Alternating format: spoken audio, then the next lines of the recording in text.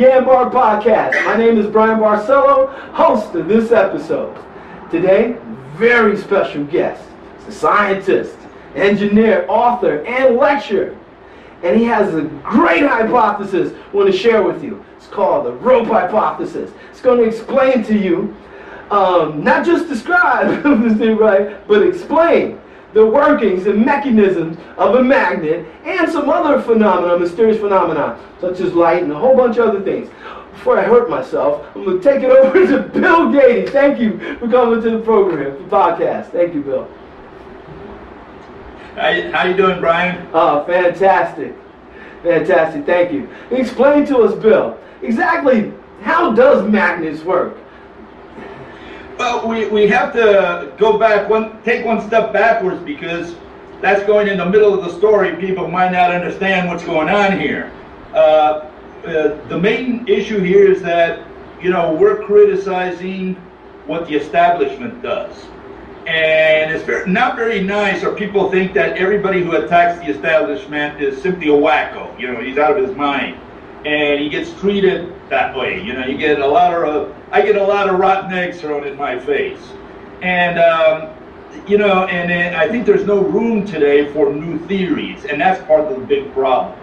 And I'm saying we have a problem with with the interpretations, the physical interpretations of um, of physics, of all of physics, 100% of it. Specifically, um, everything dealing with invisible entities or invisible phenomena. Light, we can't see it. We don't know what, you know, we see light, but I mean, Right. we don't know what light itself is. We don't know what, what is doing this, this magic. We don't know what magnetism is. You mentioned magnets. We don't know what uh, a magnetic field is made of. We don't know uh, what gravity is. You know, we drop everything, you know, you let go, something goes to the center of the earth, or at least to the floor. Right. I think everybody can vouch for that. Mhm. And nobody knows what's pulling that pen to the floor. And so, uh, you know, mathematical physics has been trying to find answers to these questions the last at least 400 years. We're talking about since the 17th century. You're looking at people like Newton and Leibniz and uh, and uh, Huygens and so on. And all these people, since those days, have been trying to give an explanation to these things. And what we have today are irrational explanations. And I'm just going to give you a quick example that puts it in the correct light. You know, you, you have two particles, right? And I, I have my little props here every now and then, right? You have two particles, right? And you can consider these two atoms, two balls, whatever you want, two, two rocks. How does this one pull on this one? Very simple, very simple problem. This is the entire universe, right? This is all there is. This is the entire system. And I'm saying, how does this one pull on that one? You cannot do it with discrete particles. I cannot throw, have this one throw stones at this one and bring it over. You know, I think that's straightforward. Mhm. And what I'm saying is that, you know, all atoms in the universe are interconnected. That's my starting point. I'm saying that every atom is interconnected. Now I can explain if this is connected to that somehow, physically connected, then yes, when I move this one, I, this one will move. If I if this one pulls, this one will, will be dragged behind it. Now we can understand action at a distance. As long as we keep them separate and throw stones in between, put little particles, we can't do that magic. Mm. You know, if you want to pull on a donkey, Mm. you got to tie a rope to its neck and then you can pull it. Mm. But you cannot pull the donkey by throwing stones at it. I think that makes, I think that's straightforward. Right.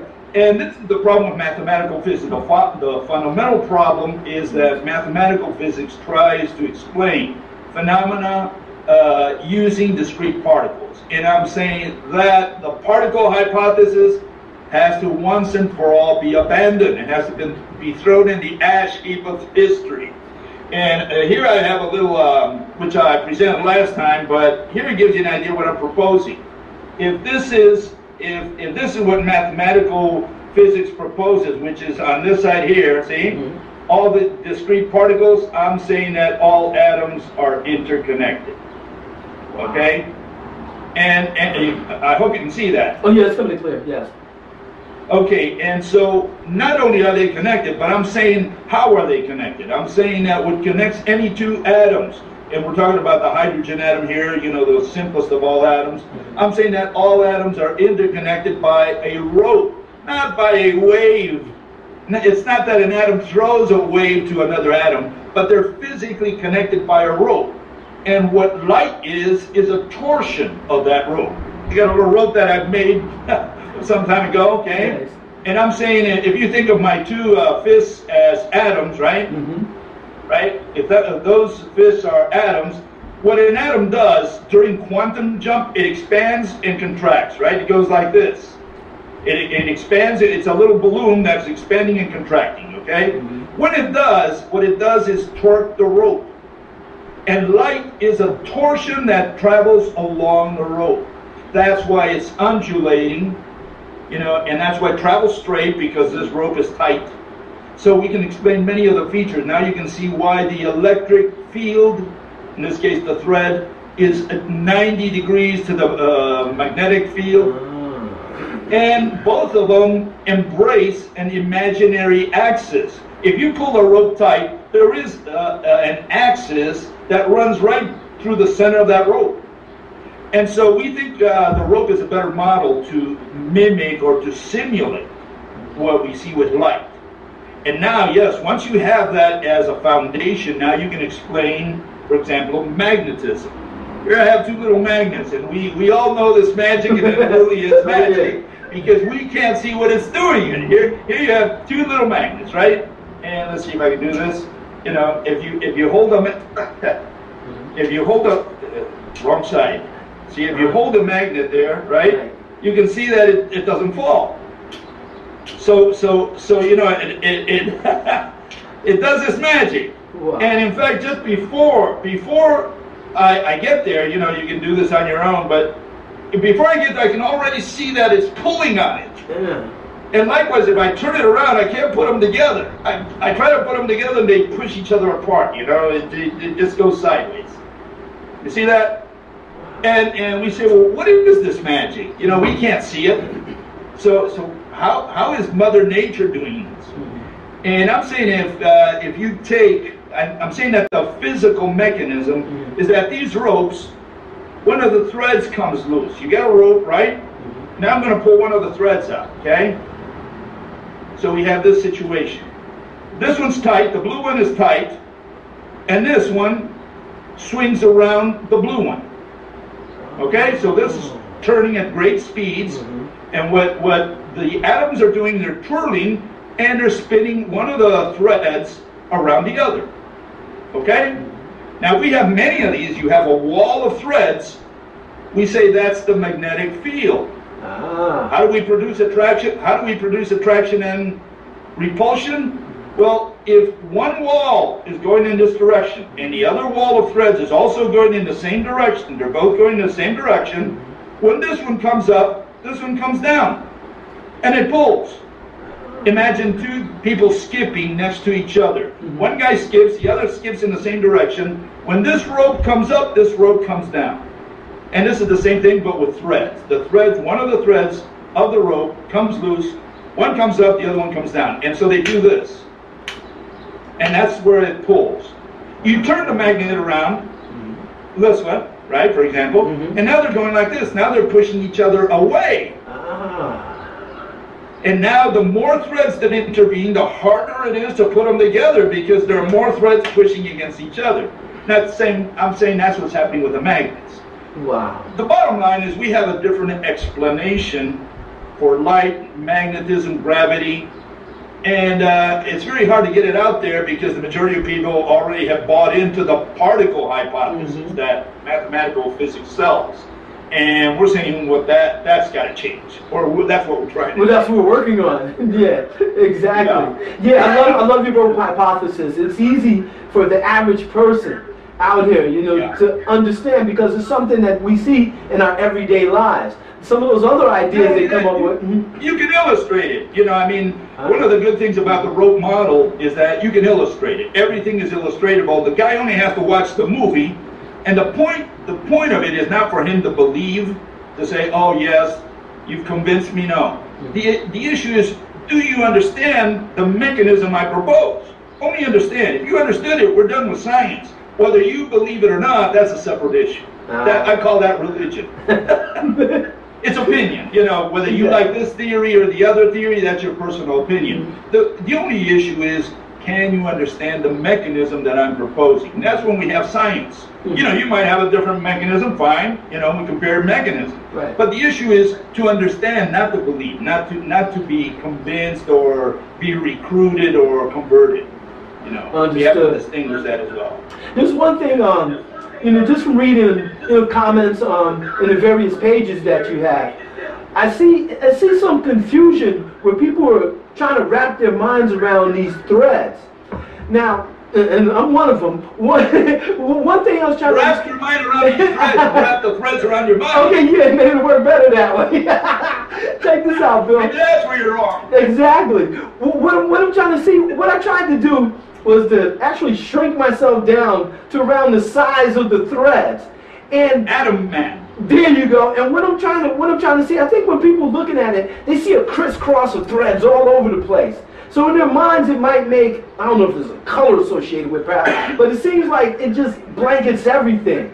And maybe they can't separate the individual threads. So I tried to shrink myself down to I'm roughly the size, and maybe I can see the individual threads, so to speak. How is that? Is everything all blanketed? I don't know if I'm saying this properly, but is everything all blanketed with threads? Um, you know what I'm saying? Well, well, I'm saying that if, if every atom in the universe Right. is connected by, by a rope, an Mhm. electromagnetic rope, Right. which uh, just just uh, as an aside here, uh, which is where DNA got its shape. Sh- the shape of DNA is a rope, is a twisted rope, and I'm saying DNA copied light. And uh, but that's just an aside here. But Right. if you if you look at two atoms, if they're connected by a rope, Mm-hmm. you know, and we just go with that simple model, which is already quite complex in itself. You know, Okay. simple on the one hand, Mhm. symmetric, also two two balloons united by a rope. That's Mm-hmm. a simple, uh, simple and symmetric uh, Mhm. system. Mhm. Uh, you know, and, that, and we first must understand that because if, if we're going to go into, you know, how gravity works when you have many ropes pulling on something, or you're talking about, you know, uh, for example, the Earth is connected to the sun. And I'm saying every atom on the Earth is connected to every atom that comprises the sun. That means each from one atom here, you have a rope going to, you know, an atom over there. Mhm. And so, you know, here I have a little prop here, you know, okay? All right. Uh, you can think of that as the many ropes, okay? Mhm. And what the sun does essentially is, you know, twirl the earth around. That's what the sun does. Right. Now we can understand it because there's a physical connection, every atom here to every atom in the sun. But see, under the uh, the uh, official model, you cannot explain that because you know uh, you have to invent either particles, Mhm. which don't work. You Right. can't do it with particles. And what general relativity has done is say, well, space is a physical object, time is a physical object. We put them together, we create a four-dimensional object, and they warp it into some kind of bowl, a Mm. roulette, and the Earth goes around it. So that's the mechanism, that's the physical interpretation that general relativity offers.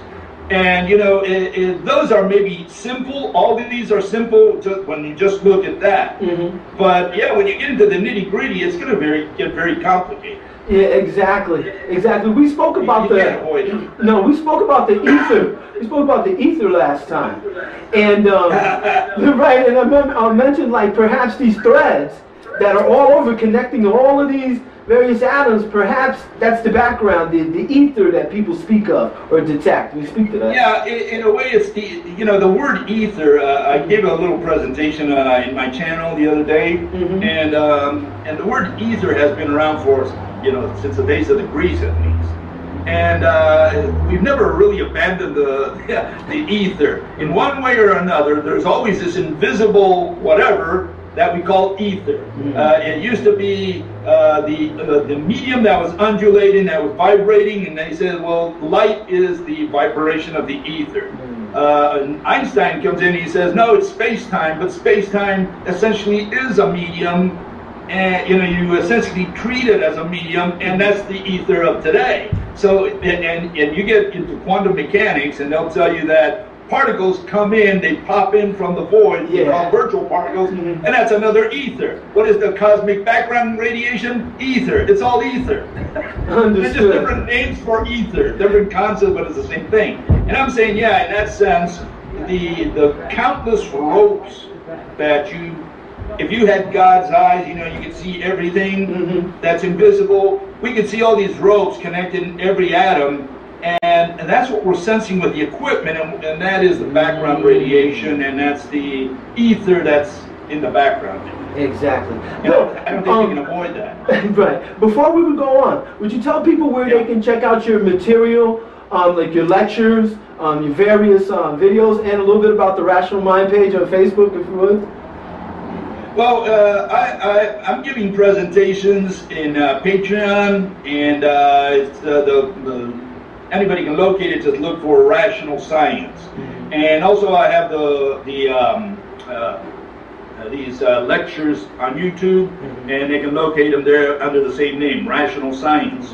And then we have a Facebook. Uh, that's not handled by me, but I'm just one of the members, and it's called also Rational Scientific Method and that's on Facebook. So, you know, these are different forums where we go into and we discuss these issues. We try to discuss them from a rational point of view, trying to make sense of how this universe works.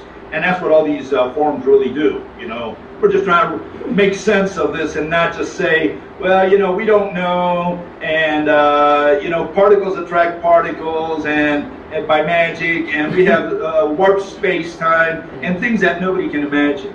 Yes, I try You know, to. and, and, and, and we also campaign against what we call call or consider nonsense, black holes, dark matter, all these you know entities that they've invented are conveniently heavy and invisible. yeah. Yeah, notice that every time it's so convenient. Yeah, I mean, from a mathematical point of view, Right. uh, you can say, yeah, if you have a lot of mass, you don't care what it looks like. It could look like an elephant. Mhm. But the important thing is that you, you're concerned about the mass because that's what you're going to put in your equation. Mhm. And we're saying that's mathematics. Now bring that into physics. What are we talking about? What physical object? And all the objects are conveniently invisible and heavy. Exactly. a lot of them seem So like like patches. you'll never see you'll never see a you'll never see a black hole. Right. You will always have to infer it indirectly by watching something that's visible. Ah.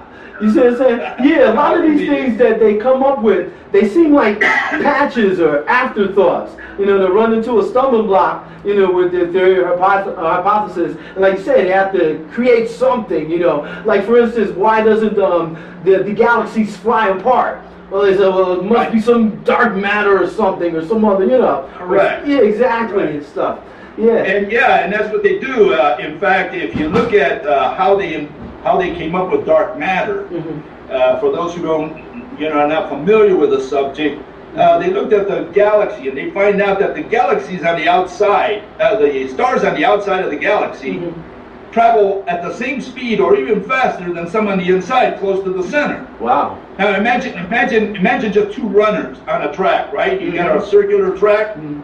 We all know that the guy on the inside, the guy who's got the inside track, you know, he's gonna go faster than the guy on the outside because he's got less, you know, less um, uh, distance. Right, distance travel, yeah. But but when the guy on the outside goes faster, you know, you kind of say, well, I got to explain that, and that's the case of uh, you know dark matter. What they did, they sprinkled all this heavy, invisible kilograms on the outside of the galaxy, and they say, oh, see, now we can explain it.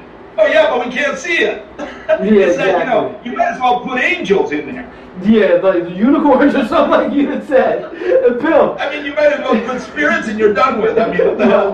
Bill, time flies fast. You were so right about these podcasts. Time goes by super quick, and we're like really there at the end already. Is there anything that you like speak to the the people about, or anything like tell them before we end this podcast? Well, no. To keep an open mind, people should should be aware that most of the theories today, if, if you're going to propose a new theory, you're not going to be able to get it published because the publishing world is governed by the people who already went through the uh, uh, through through college and they've been brainwashed with, with the old theories. Mm. And so the whole the whole um, uh, world of mathematics you know, these people believe in all these things, in black holes and uh, dark matter, and that particles do all these magical things, and that virtual particles come in from the void, and they do it all mathematically, mm-hmm. but they can't do it physically. They can't show me in the in the lab. They can't even put it on the screen for me.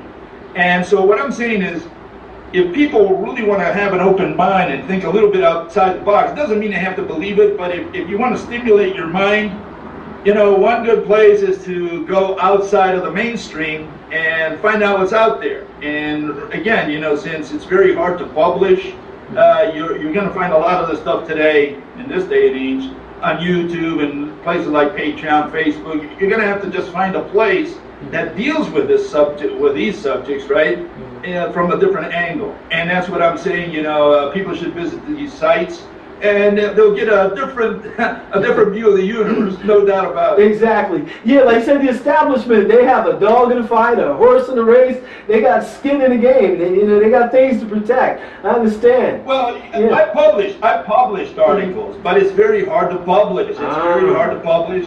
And one of the reasons is that you got to be careful. You can't start your paper like saying, "Look, I'm going to show in, in, in this article in this paper that quantum mechanics is nonsense." you just can't start it that way. yeah. you, you can't. You got to be very subtle and say, look, guys, look, here's I'm proposing something different. You know, Come on, you can't just go in there and say Einstein. Einstein didn't know what he was talking about. yeah, yeah, yeah. That'll ruffle some feathers. Like that. Bill, thank you so much.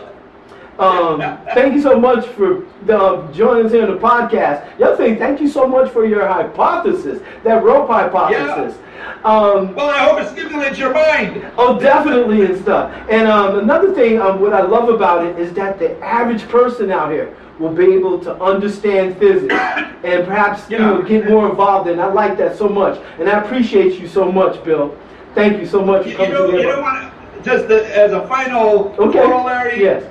I always say physics is for kids. It's like tricks the the. Uh, oh, yeah, you're right. Physics is for kids. kids should be able to understand physics. Mathematics probably is not. Yeah, that's a head scratcher. Yeah, right. I appreciate you so much, ladies and gentlemen. Bill Gating, the rope hypothesis. Thank you so much, Bill. Hey, Once again, I thank each and every one of you for checking out the Yambar podcast. Join us again next time and check out our past um, episodes also. Once again, my name is Bryan Barcelo, host of this episode of Yambar Podcast. And remember, Yambar Podcast is a place where you make it happen. Peace. Thank you so much, Bill.